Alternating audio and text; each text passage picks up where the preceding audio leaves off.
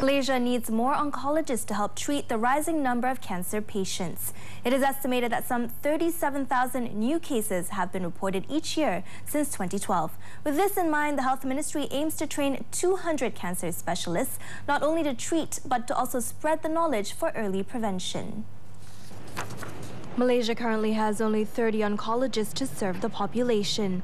There is a pressing need to increase this number, as according to the International Agency for Research on Cancer, mortality due to the disease stood at 21,700 in 2012, down from 32,200 in 2008, attributed to early detection. We, we need about 100, 200 more. Kan? That that one is also a small picture anak anak number sebab actually kalau kita tengok population kita almost 30 juta we need more than that. And kita mempunyai satu cancer institute yang besar kat Putrajaya tu kan? National Cancer Institute. Kita dan kepakaran kita kita fokus kat tempat-tempat macam ni lah alright? So insyaallah kita Kementerian Kesihatan dalam perancangan untuk menambahkan lagi pakar-pakar untuk mengambil bidang ini. Tapi bidang ini bukan senang ya nak jadi bidang ni dia kena ambil sampai 5 6 tahun punya pelajaran.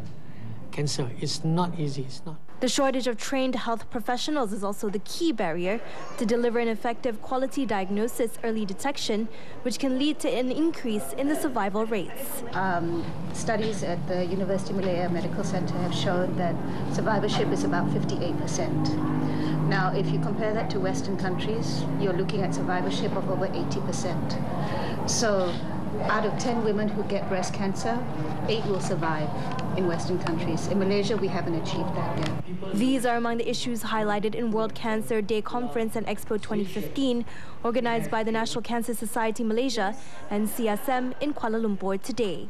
Saya ada uh, tanda-tanda sakit uh, kanser uh, cervix. Jadi saya ignore. Saya saya tak tak ambil uh, peduli dengan uh, apa yang tu. Sebab saya ingat itu adalah sungguh biasa.